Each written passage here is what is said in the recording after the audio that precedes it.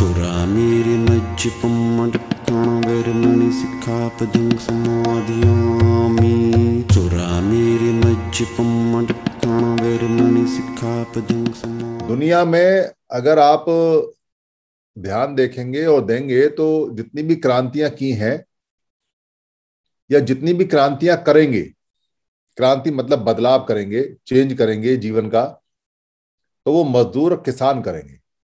और मजदूर और किसान के अलावा दुनिया में कोई भी व्यक्ति क्रांति नहीं कर सकता, क्योंकि सबसे ज़्यादा संख्या मजदूरों की और किसानों की होती है और सबसे कम आमदनी उन्हीं की होती है, सबसे कठिन जीवन उन्हीं का होता है। इतना कठिन जीवन होता है उनका कि वो पूरे दिन मेहनत करने के बाद में उनको दो वक्त की रोटी नहीं मिलती पूरी तरह से। यानी कुछ लोगों को तो एक वक्त की रोटी है और वो भी आधी मिलती है। तो बदलाव और क्रांति वही करता है जिसके पास में कुछ ना हो या ये कहें कि खोने के लिए कुछ नहीं है और पाने के लिए सब कुछ है। जो अमीर लोग हैं या जो मिडिल क्लास लोग हैं, वो कभी क्रांति नहीं करते। क्योंकि उनको ज़रूरत नहीं है। वो क्या बदलाव करेंगे? जो अमीर है, वो क्या गरीब थोड़ी होना चाहेगा? या जो मिडिल क्लास का आदमी है, वो तो मालदार होना चाहेगा, गरीब तो होना नहीं चाहेगा। इसलिए हमेशा जो गरीब, दबा और कुचला आदमी है, जो किसान है, मजदूर है वही क्रांति करता है। भारत में क्रांति कभी मजदूरों से किसानों से हुई नहीं। तो उसका कुछ कारण है, क्योंकि मजदूर और किसान कभी इकट्ठे नहीं हुए। बाकी दुनिया में इकट्ठे हो जाते हैं। और इकट्ठे ना होने का कारण, यानी संग ना होने का कारण इसलिए है क्योंकि उनको जो तोड़ा गया है, वो सीडी वाइज सिस्टम में, कास्ट में धर्म में, मज़हब में, इन सब में छोटे छोटे ग्रुप में तोड़ा हुआ है। ये एक कारण है, जो बड़ा कारण है। और दूसरा जो कारण है, वो ये है कि उनको ये जानकारी नहीं है कि उनको इकट्ठा होना है। उनको पता ही नहीं है कि इकट्ठा होना भी कोई उद्देश्य है, कोई काम होता है। वो ये जानते ही नहीं कि अगर वो इकट्ठे हो जाएँगे तो उनको उनकी मेहनत का पूरा पैसा, पूरा फल मिलेगा। उनके पास भी पक्का घर होगा, मकान होगा दुकान होगी, उनके बच्चे भी पढ़ेंगे, वो भी अच्छी ज़िंदगी जिएँगे। और जो लोग उनसे काम लेते हैं, वो तो कभी उनको बताने से रहे। क्यों बताएगा कोई? कोई दुकान का मालिक अपने मजदूर को क्यों बताएगा कि अगर तू दुकान खोल लेगा तो मेरी तरह दुकानदार का मालिक हो जाएगा? कोई फैक्ट्री का मालिक अपने मजदूर को क्यों बताएगा कि अगर तुम इकट्ठे हो जाओगे और तुमको ज़्यादा पैसा मिलेगा तो तुम भी फैक्ट्री खोल सकते हो या फैक्ट्री में काम कर सकते हो या फैक्ट्री के हिस्सेदार बन सकते हो। कोई सरकार किसानों को क्यों बताएगी कि अगर तुम्हें अनाज का पूरा दाम मिल गया या पूरा पैसा मिल गया तो तुम सरकार में आ जाओगे। तो सरकार में जो बैठे लोग हैं, वो क्यों चाहेंगे कि कोई और व्यक्ति सरकार में आए? इसलिए ये एक कंपटीशन है, ये एक प्रतिस्पर्धा है, जिसमें आदमी को किसी भी हालत में अपने बराबर नहीं आने देना है। यही हालत भारत में हमारे लोगों की है, जो बाबा साहब अंबेडकर के अनुयायी हैं। उनकी प्रतिस्पर्धा है कि वो भी भारत में जो सब कुछ संपन्न लोग हैं, जिनके पास सब चीज़ है, उनके बराबर में ना आ जाए। और इस बात का लगातार लगातार झगड़ा चलता रहता है। बाबा साहब अंबेडकर ने यहाँ जो क्रांति की, वो दुनिया में सबसे कमाल की क्रांति है, क्योंकि ना उनके साथ में मजदूर थे, ना उनके साथ में किसान थे, ना उनके पास पैसा था ना उनके पास था ना वो कोई बहुत बड़े खानदान से, जमींदार से, राजा महाराजा से थे। यूँ तो थे क्योंकि सम्राट अशोक के खानदान से हैं, बुद्ध के खानदान से हैं, मगर आज के परिप्रेक्ष्य में अगर कहें तो अभी के अगर कहें तो गरीब खानदान से थे। यानी कि जहाँ उनके बच्चे जब मर गए तो उनको दफनाने के लिए कफन भी नहीं थे। ऐसे वो परिवार से थे। पुराने राजा रहे हैं, वो अलग बात है। पुराने बुद्धिस्ट रहे हैं, पुराने जगत गुरु रहे हैं, वो पुराने वो अलग बात है। तो वो जो क्रांति है इसलिए दुनिया में अभूतपूर्व है क्योंकि उस एक अकेले व्यक्ति ने भारत के सारे किसान, सारे मजदूर, सारे दबे कुचले लोगों को उठाकर एक साथ संविधान के दायरे में लाकर बराबर कर दिया। यो कहने को उनको पैसा नहीं मिला, यो कहने को उनको शिक्षा बहुत बाद में थोड़ी सी लोगों को मिल पाई और जब वो थोड़े से आगे बढ़ने शुरू हुए तो उनको फिर दबाने का प्रयास किया जाने लगा और दबाने में वो सफल भी हो गए, क्योंकि दो बातें स्पष्ट हैं। पहली तो यह है कि छोटा काम क्यों कोई करेगा? यानी कोई अगर छोटा काम करता है तो वही करता रहे। वो छोटा काम छोड़ के बड़ा काम क्यों करे? तो क्यों उसको कोई करने दे?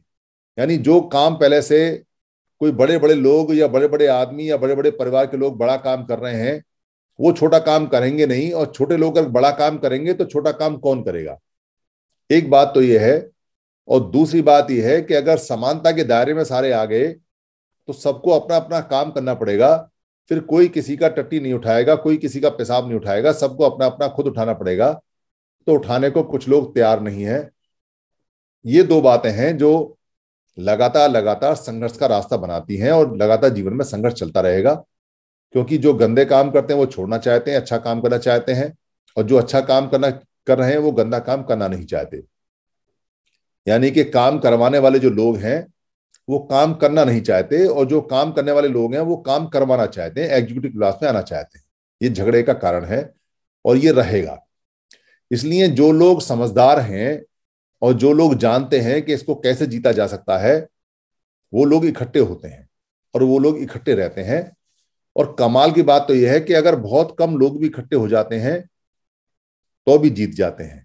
क्योंकि भारत में अगर कम लोग भी इकट्ठे हो जाते हैं तो उनकी संख्या भी ज़्यादा होती है। और अगर ज़्यादा लोग इकट्ठे हो जाएँ तो फिर तो कहना ही क्या है?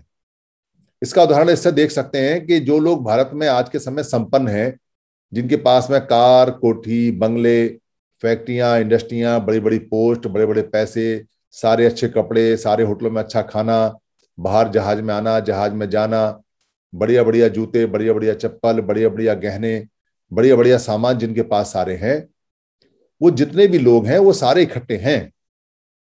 और अपनी इस बात को मेंटेन करने के लिए कि हमारे पास सारी चीज़ें रहें, ज़मीन, जायदाद, कोठी, बंगला हमारे पास रहे, कार, रेलगाड़ी, जहाज़ सब हमारे पास रहे, वो लगातार मेहनत करते हैं। और मेहनत क्या करते हैं? वो लगातार इकट्ठे रहते हैं। और वो संघ में रहते हैं, उनके संघ हैं। और पूरी दुनिया में जो ऐसे लोग हैं, उनके संघ बड़े मज़बूत हैं। उनके संघ में आप घुस नहीं सकते। आपके यहाँ समण संघ में तो कोई बाहर का आदमी आ जाता है। कई बार कई नासमझ लोग उनके संघ के लोगों को यहाँ ले आते हैं, जबकि उनको लाना नहीं चाहिए। मगर आपने देखा होगा कि हमारा कोई व्यक्ति उनके संघ में नहीं जा सकता, क्योंकि समण संघ और बमण संघ दो लाइन खिंची हुई है। बमण संघ में समण आदमी का जाना मना है। इसी प्रकार समण संघ में बमण आदमी का आना मना है। आके क्या करेगा? उसके पास तो सब कुछ है। इसलिए आपको अगर अपनी मेहनत का फल फल चाहिए, आपको अगर अपने किसान का हक चाहिए तो आपको संघर्ष करना पड़ेगा और संघर्ष के लिए आपको सबसे पहले संघ करना पड़ेगा, संघ में आना पड़ेगा। बिना संघ में आए संघर्ष नहीं कर सकते। इसलिए जो कुछ समझदार लोग हैं, वो भारत के छोटे छोटे मजदूरों के, किसानों के संगठन गुट बनाते हैं। तो जो जानकार, जो तेज लोग हैं, वो इसके मालिक बन जाते हैं। यानी संघ है मजदूरों का और मालिक है जो मजदूरों के विरुद्ध आदमी बैठा हुआ है, जो कंपनी का मालिक है, वो खुद उसका मेंबर है, वो खुद उसका पदाधिकारी है। रिक्शे वालों की जो यूनियन है, उसका जो आपको नेता मिलेगा, वो वो मिलेगा जो रिक्शे में बैठकर जाता है दिन भर शराब पीता है और रिक्शे वालों के विरुद्ध काम करता है। मजदूरों का नेता वो मिलेगा जो मजदूर है ही नहीं। किसानों का नेता वो मिलेगा जो किसान नहीं है। ये एक बहुत बड़ा षड्यंत्र है जो हमारे भोले भाले लोग समझ नहीं पाते, क्योंकि उनका अपना कोई संघ नहीं है और वो अपने संघ के खुद मालिक नहीं है। उनका जो संगठन है, उसका मालिक कोई और है जो उनका दुश्मन है। इसलिए अपने समण संघ की बड़ी आवश्यकता है। और अपने समण संघ में यकीन करने के लिए और यकीन करना चाहिए, क्योंकि पहले भी जब संघ था, तभी हम मालिक थे, तब हम मजदूर नहीं थे। सम्राट अशोक के समय अगर उसके आप शिलालेखों में जाएँगे या उसके बाद में 400-500 साल पहले तक भी आप देखेंगे, या बुद्ध का जितना भी सूत्र है या जो बुद्ध ने कहा है, जो लिखा हुआ मिलता है या जो जैनों का लिखा हुआ है, अगर आप उसमें जाएँगे और देखेंगे तो आप पाएँगे कि कहीं कोई किसान आंदोलन या कहीं कोई मजदूर आंदोलन नहीं है।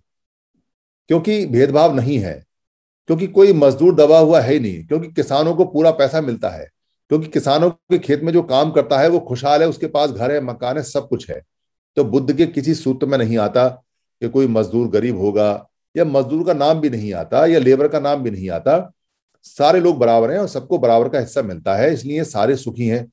अशोक के समय भी सुखी थे। ये अब की कहानी है, जब शोषण स्टार्ट हुआ, जब मनुस्मृति लागू हुई और जब कुछ लोगों ने काम करना बंद कर दिया और वो सिर्फ़ इस चक्कर में रहे कि जो काम करेंगे, हम उसी में से हिस्सा लेंगे और जो काम करेंगे, उसी में से हमको खाना लेना है। और इस खाने को, शोषण को इतना ज़्यादा कर दिया कि जो खेत में अनाज उगाता है, उसको खाने को कुछ नहीं और जो कुछ नहीं करता, वो उसका सारा ले जाता है। ब्याज के नाम पे धमका कर, मार कर, पीट कर या षडयंत्र से, या अंधविश्वास में फैला के, या दान के नाम से, या कोई भाग्य भरोसे के नाम से, किसी ना किसी तरीके से वो उसका सामान ले जाता है। जो उसने पैदा किया है, वो उसका ले जाता है। आज के समय रुपए, पैसे और ज़मीन ले जाते हैं लोग। और वो अपने दिमाग का इस्तेमाल नहीं करते हमारे लोग और उनको दे देते हैं और उनके मन मस्तिष्क से गुलाम बने रहते हैं। इन सारी बातों को बाबा साहब ने देखा, जाना बाबा साहब ने मजदूरों को बहुत पास से नज़दीक से देखा। संविधान में जो नियम बनाए हैं, वो नियम अच्छे हैं, जो लेबर लॉ है, वो भी अच्छे हैं, मगर वहाँ तक लेबर पहुँच नहीं सकती, क्योंकि लेबर पढ़ी लिखी नहीं होती है और जो पढ़े लिखे होते हैं, वो शोषण करते हैं। पाँच सौ रुपए कमाने वाला जो मजदूर आज के समय है, उसको पाँच हज़ार की फ़ीस कहाँ से देगा वकील की? और वकील बिना पाँच हज़ार से पहले हिलेगा नहीं, और उसमें भी गारंटी नहीं कि केस जीतेगा या नहीं जीतेगा। तो पाँच हज़ार देगा, दस दिन मजदूरी करेगा, दस दिन की मजदूरी चली जाएगी तो क्या खाएगा, क्या कमाएगा इसलिए? उसका शोषण लगातार होता रहता है। न्याय मिलने की उम्मीद नहीं है, क्योंकि न्याय की प्रणाली जो बनाई हुई है, वो उन लोगों ने बनाई हुई है जो खुद शोषण करते हैं।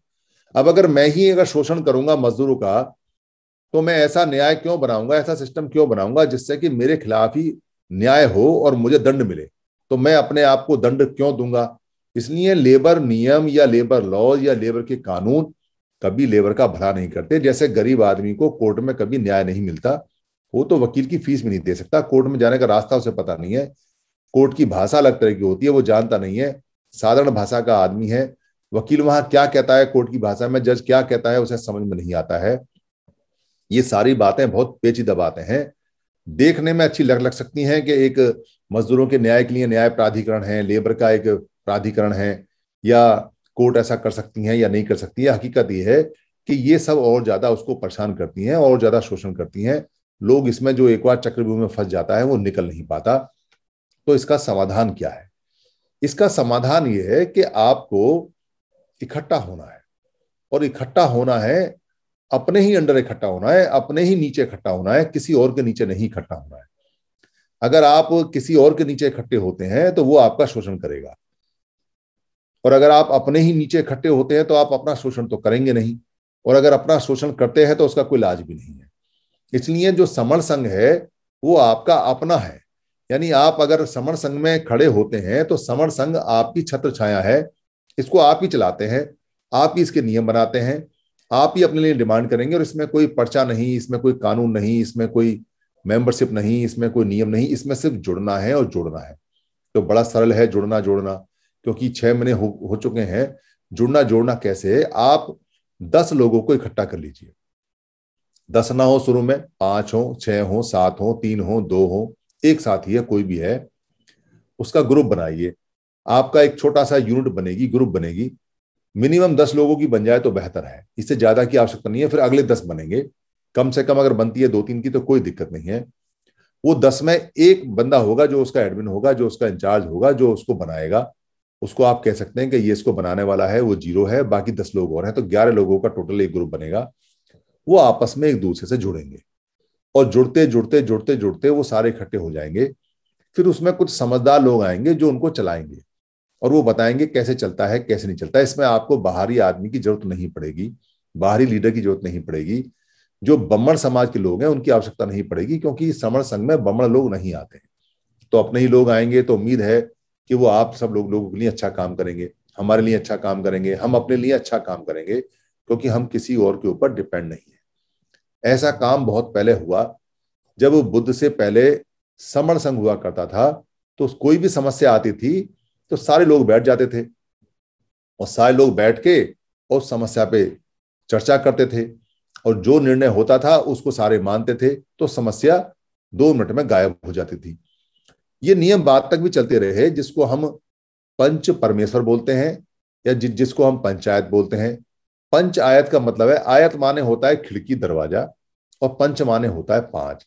वैसे तो पंचायत जो शब्द है, वो पाली का धम्म से लिया गया है, जिसमें पंचशील की पाँच आयते हैं, मगर यहाँ पाँच जो हम बोलते हैं, पंच परमेश्वर यानी पाँच चीज़ें प्रमुख हैं तो पाँच लोगों को नॉमिनेट कर लेते हैं। उससे हम पंचायत बोलते हैं कि पंचायत लग लग रही है।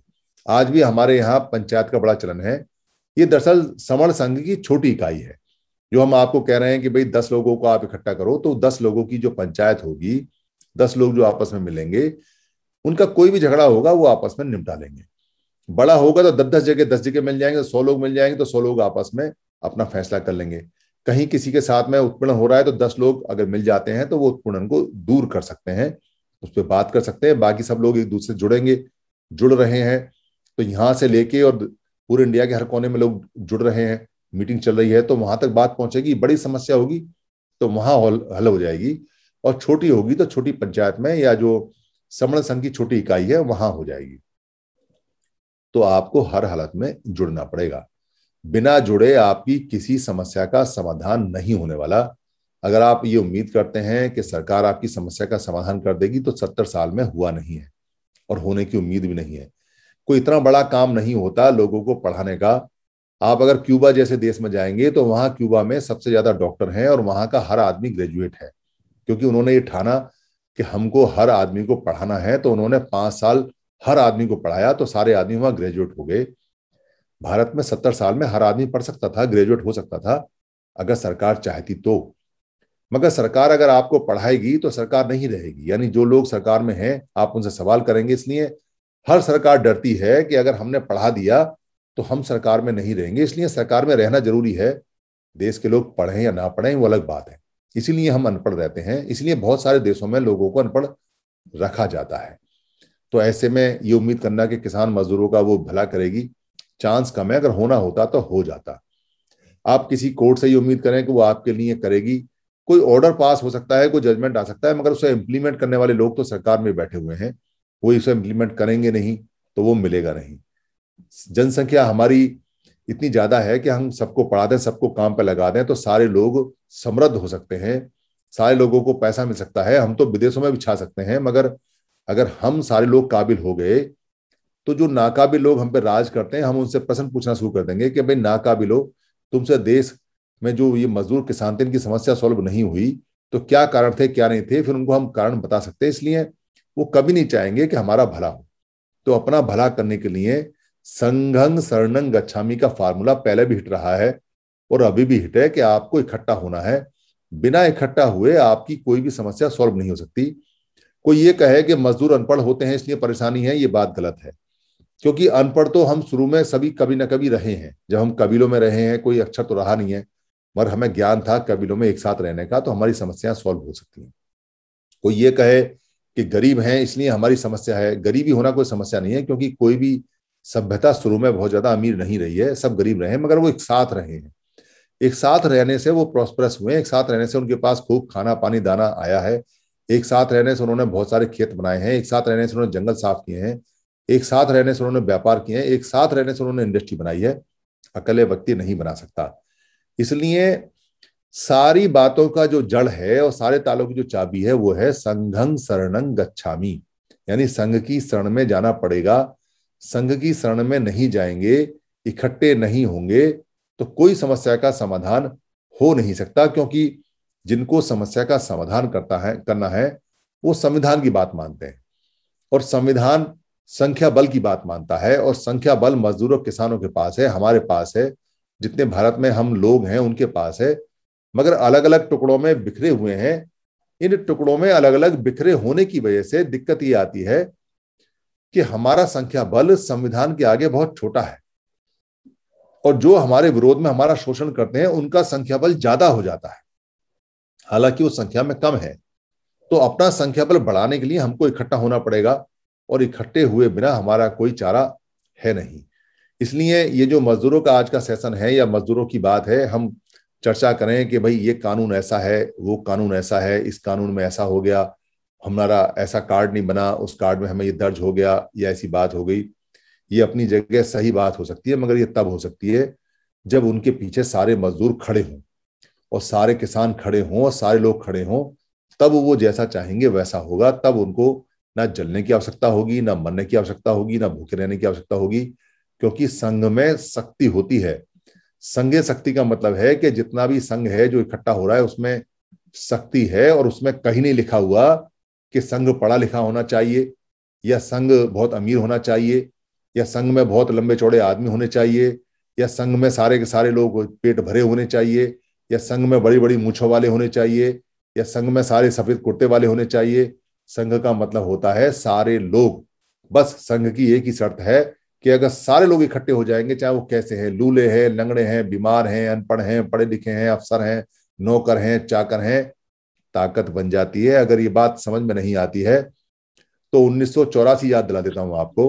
उन्नीस सौ चौरासी में जो मुँह चला ना हाथ चलाओ ना मुँह चलता है। उन्नीस में जो दंगे हुए थे देश के अंदर उसमें सारी भीड़ इकट्ठी हुई थी और भीड़ ने बहुत सारे लोगों को मारा। मारना गलत है दंगे करना गलत है मगर भीड़ एक शक्ति हो जाती है संघ एक शक्ति हो जाता है सम्यक शक्ति भी हो सकती है, अच्छी तरह से इस्तेमाल करें संविधान के तहत में तो सम्यक संघ भी हो सकता है।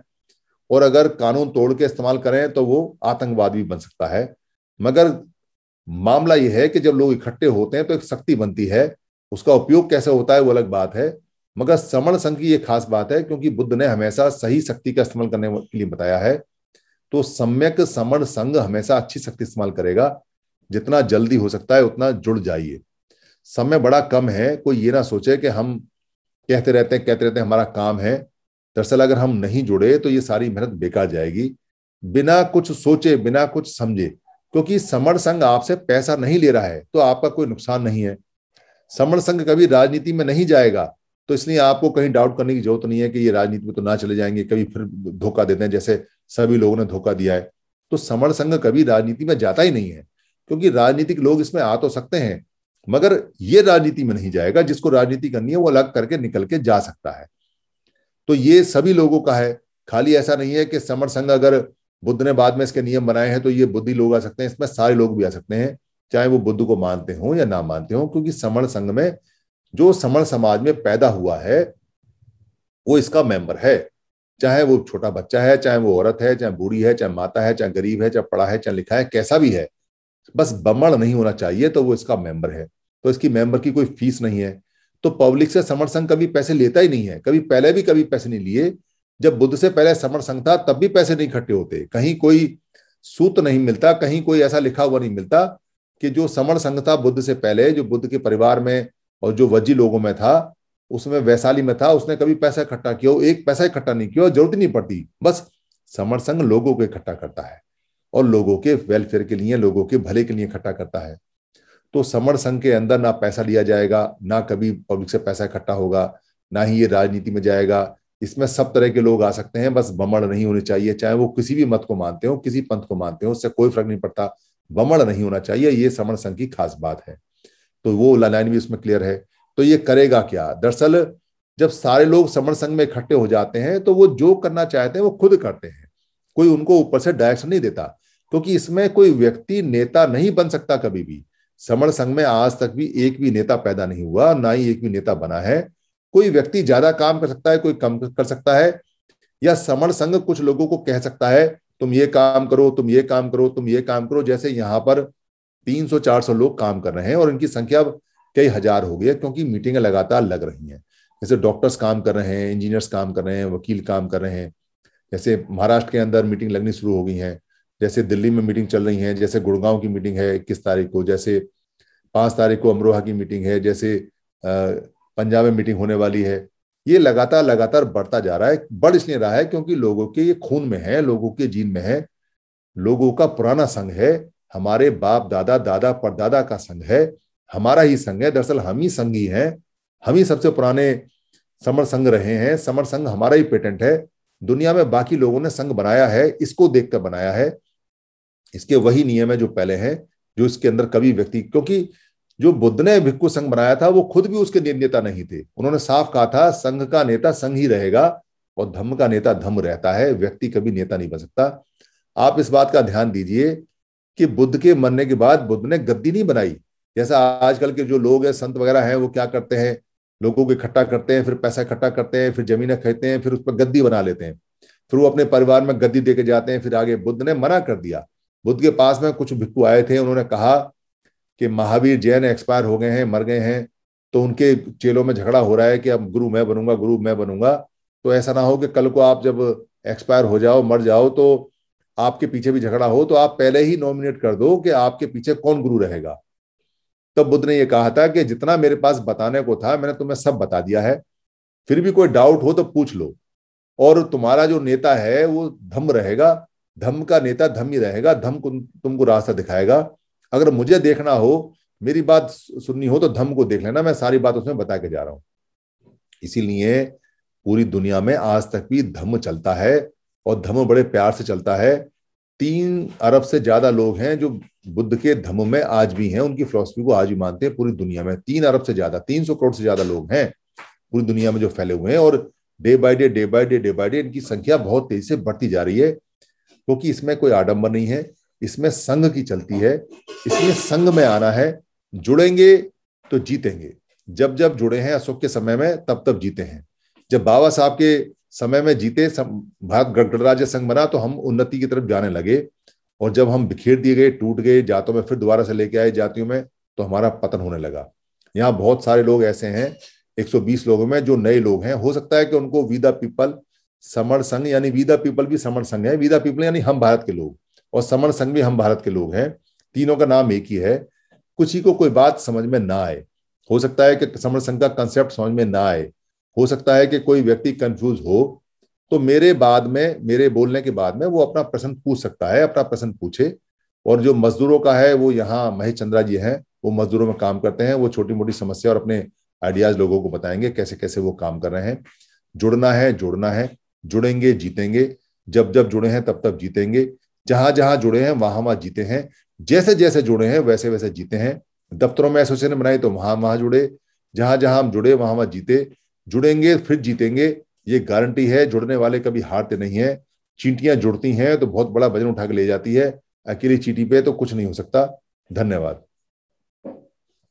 किसी का कोई प्रश्न हो तो पूछ लें।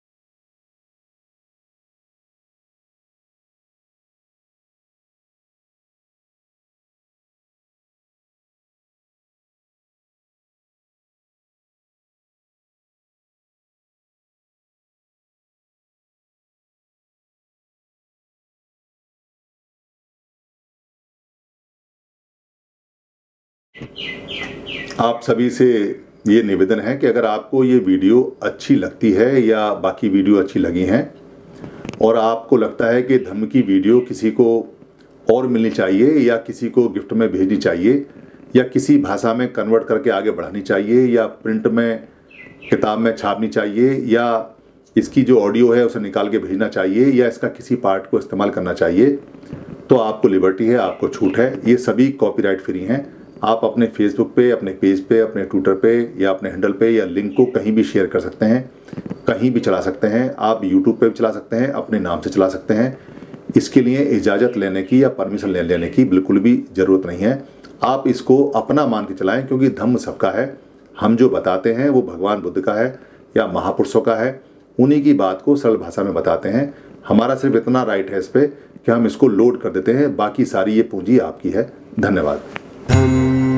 शरणं गच्छामि